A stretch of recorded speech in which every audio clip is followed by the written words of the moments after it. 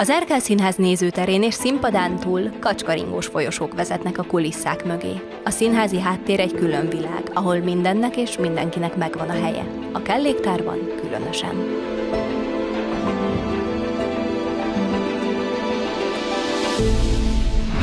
Az, hogy része lehet ennek az egésznek az ember. Ez... Én most a saját nevemben beszélek, de olyan, mint egy játszótér. És ez nem munka.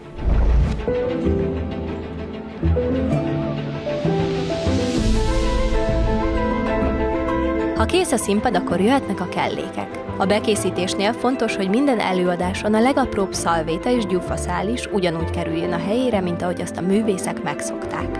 És persze arra is figyelni kell, hogy ne maradjon ki semmi, mert egy lényeges játszókellék hiányától a jelenet megdöccenhet, és oda az illúziónak. Ehhez nagyon precíz munka kell.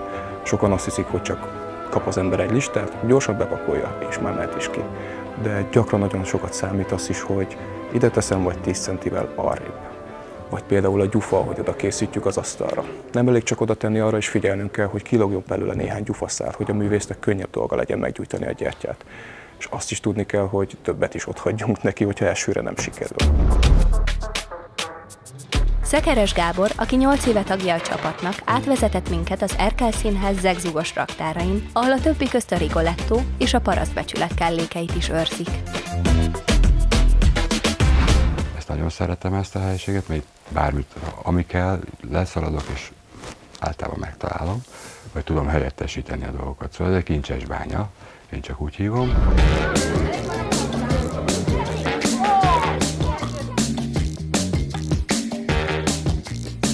Mindig is érdekelt, hogy hogy zajlanak itt a dolgok, hogy hány ember dolgozik egy olyan darabon, ahol mit csak két ember szerepel a színpadon, de körülbelül 50-60 ember mozog a háttérben és pakolja a díszleteket, rakja a kerékeket. Ez, szerintem ez, ez, a, ez a legjobb része ennek az egésznek, hogy látja az ember ennek a folyamatát, hogy hogy épül fel a darab, és ez hogyan viszik a színpadra, és ez élesben hogy is néz ki.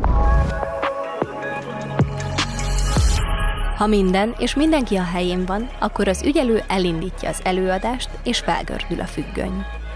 Szép jó estét kívánok! Kérném szépen a beosztott díszítőrakat, kellékes urakat álljunk be kezdésre. A takarásban ilyenkor sincs tétlenkedés, hiszen a kellékek jönnek, mennek, új helyre vagy a raktárba kerülnek. Bentről vagy oldalról teljesen más, sokkal impulzívabb az egész. Ja, én a takarásokat szeretem nagyon, mert tényleg annyira közel vagy hozzájuk, hogy, hogy ez egy plusz-plusz jó dolog szerintem.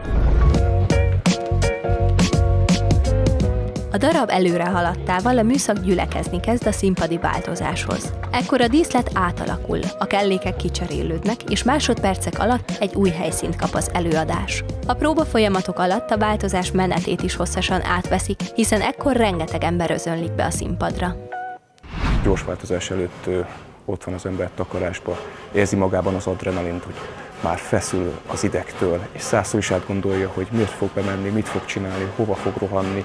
Szerintem ennek ez a szépsége, olyan, mint az ember versenyez. Egyik előadás ugyanolyan, mint a másik, viszont mindegyik a részletekkel együtt válik teljessé.